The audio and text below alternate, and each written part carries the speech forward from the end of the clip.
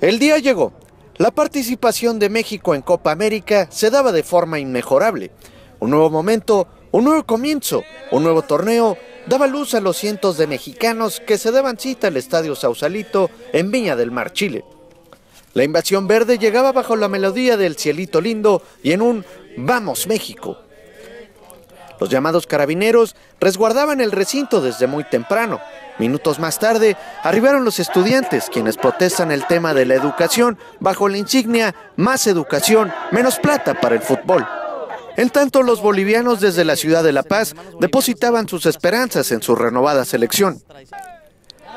Así es como se vivió el color previo al cotejo entre México contra Bolivia, donde la fiesta futbolera está más ardiente que nunca.